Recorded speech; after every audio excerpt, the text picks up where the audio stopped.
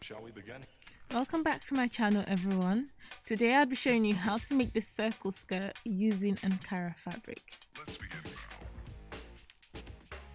Here are some of the things you'll need, mainly 2 yards of fabric, a zip, pins and a measuring tape. The first thing you need to do is measure around your waist, usually your belly button, and mine was 28 inches.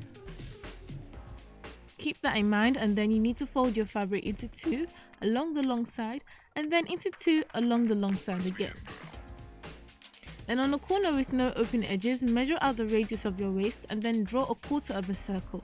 Then using the length of how long you want your skirt to be and your measuring tape, just draw a bigger quarter circle like so. Now just cut out your quarter circle.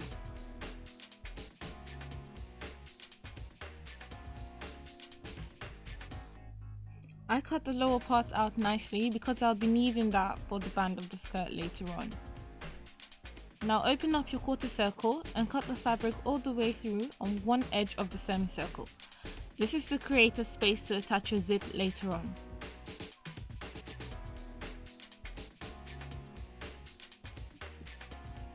Now for the band. You need to cut a rectangle 2 inches longer than your waist and 4 times as wide as you want your band to be.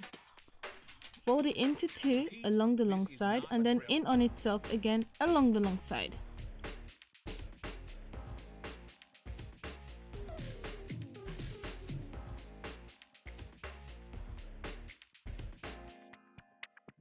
Next you need to attach the two pieces together and you do this by inserting the smaller circle part in between your band piece. Here's a closer view of how I do this.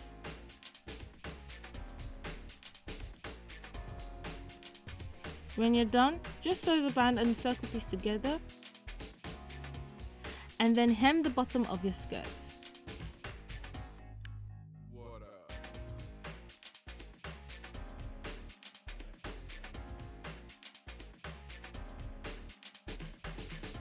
Now to attach your zip.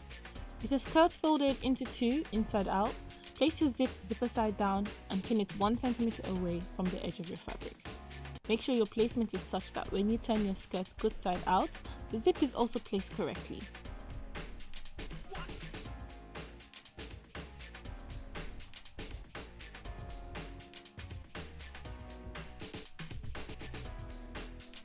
I'm just adjusting my skirt to make sure that the zip is actually in place.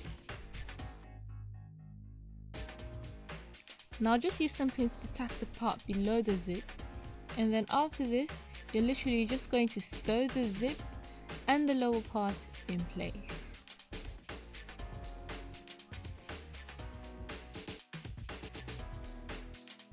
An optional step to add extra security to your skirt is to add a hook.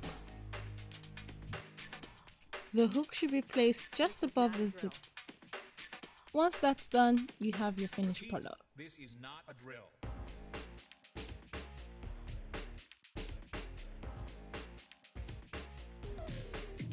So I hope you enjoyed this tutorial and liked the finished product. If you do, don't forget to like, share and subscribe for more videos. Bye!